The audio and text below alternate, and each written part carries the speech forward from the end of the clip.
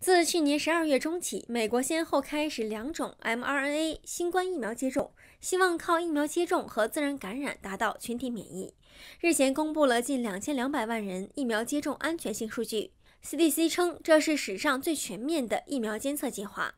报告里主要提到了打疫苗后的副作用。VSafe 小程序收集了接种疫苗后的症状反应，包括疼痛占百分之七十一，疲倦百分之三十三，头疼百分之二十九，肌肉酸疼百分之二十三，发冷百分之十二，发热百分之十一，肿胀百分之十一，关节疼百分之十，恶心百分之一。但报告解释，在临床试验中，那些打了盐水安慰剂的对照组志愿者也同样出现了以上种种症状。此外，报告还透露了打过 COVID-19 疫苗后的死亡数据，显示出现一百九十六人死亡，年龄中位数是七十九岁。报告中，接种 COVID-19 疫苗后出现过敏的情形，比起一开始报道的每百万人中十一例有所下降。辉瑞疫苗每百万人接种者中有五例过敏，莫德纳疫苗每百万人接种者中有两点八例过敏，但并非意味着莫德纳疫苗比辉瑞疫苗更安全。被认为莫德纳疫苗晚于辉瑞疫苗推出，或因此严重过敏人数更少些。